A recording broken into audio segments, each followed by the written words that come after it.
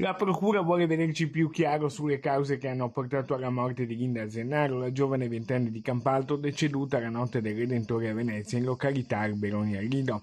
La cerimonia funebre era già stata fissata per martedì mattina alle ore 9 nella chiesa dei Santi Martino e Benedetto a Campalto, esposte le epigrafe.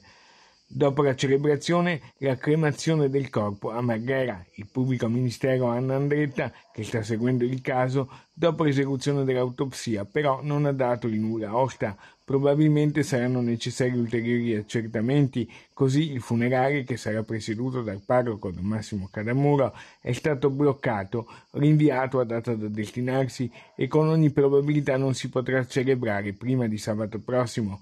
Il parroco racconta come la comunità di Camparto stia vivendo questo momento di dolore. L'evento di Linda Zennaro ci ha colpiti profondamente, noi dei quartieri ma anche poi della comunità cristiana, sia per le modalità con cui l'evento è avvenuto e sia perché appunto è una grande tragedia, ragazza di 21 anni la mamma l'ho incontrata l'altro giorno, è veramente scioccata, provata e per cui e anche poi l'altra sera alla manifestazione, alla fiaccolata che hanno fatto, e indubbiamente c'erano 500-600 persone, c'era un grande silenzio che è segno di questo turbamento molto molto profondo.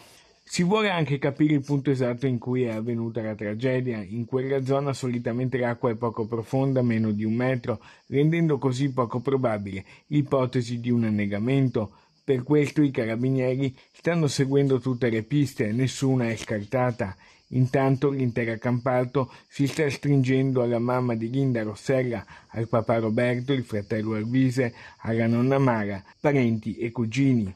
Asciuga le tue lacrime e non piangere. Se mi ami, il tuo sorriso è la mia pace. Si legge nell'epigrafe di Linda da una frase di Sant'Agostino. Erano fissati i funerali per martedì, poi mh, mm, credo aver capito che ci sono delle difficoltà e, e, e di riprogrammare l'evento.